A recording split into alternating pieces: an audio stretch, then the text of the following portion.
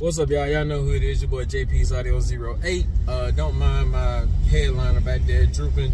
This the A to B car. I need to fix it, but don't mind that. Either way, I'm coming to y'all because, you know, I was looking at the pictures in that last video about my Grand Marquis, about, you know I'm saying, everything that they done. And when I looked at the picture, of course, I was excited to see the wall, but I noticed something. My seat belts are dirty. Oh, they dirty. Same seatbelt since 1997. Now, I'm not necessarily blaming it on the fact that the seatbelts are old because they still work.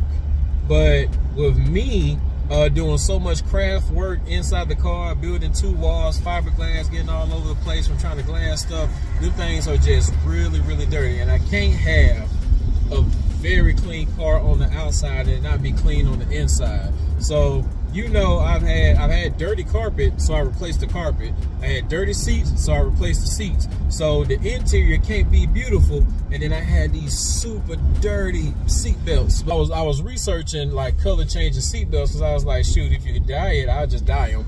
And then I was like, shoot, if I can replace it myself, I'll just replace it myself. I can totally do that.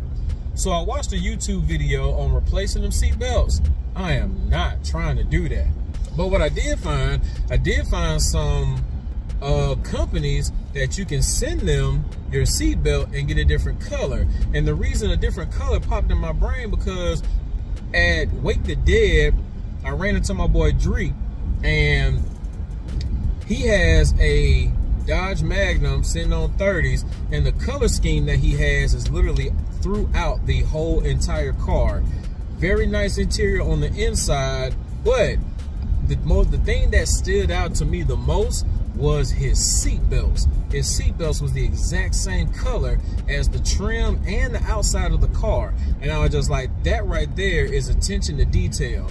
Now, with me being into cars ever since I was 15, going to shows, ever since I was able to drive, I have never seen somebody's seat belts a different color. Maybe I just haven't noticed it, but when I looked at my seat belts and seen that they was extremely dirty, I said, oh, okay, I, I need to get them. So I found a couple websites online. I think I found one called Safety Restore or something like that.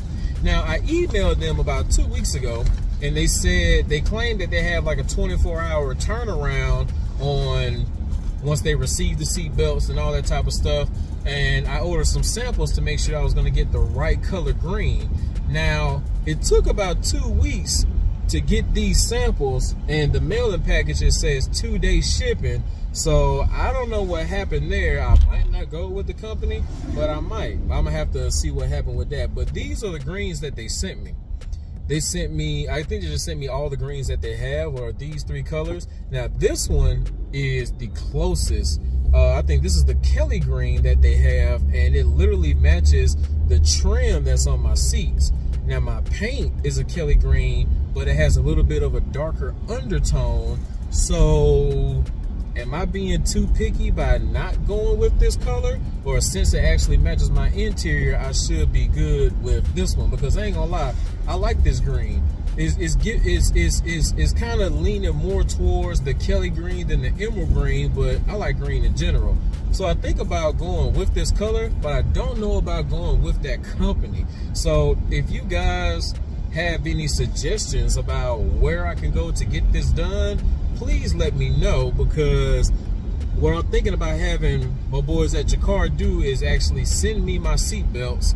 And as far as the hard plastic part, I might uh, color them. I also watched a video on vinyl dyeing. So I might color them and dye them the exact same factory color.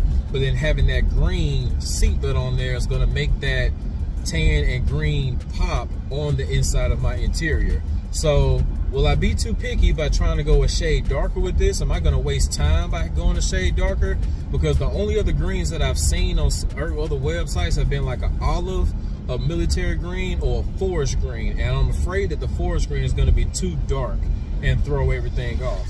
Also, if you're a person who's actually done this before, what's a website that you use? I could just call my boy Dree. But I know Dree got an interior, man. And I don't know, I might call him and see what he used. But either way, if y'all got suggestions, let me know. I'm just on my way to work, and this was something I was excited about because it's dealing with the Grand Marquis. So it's a small update on what I want to do next, and let's figure it out together.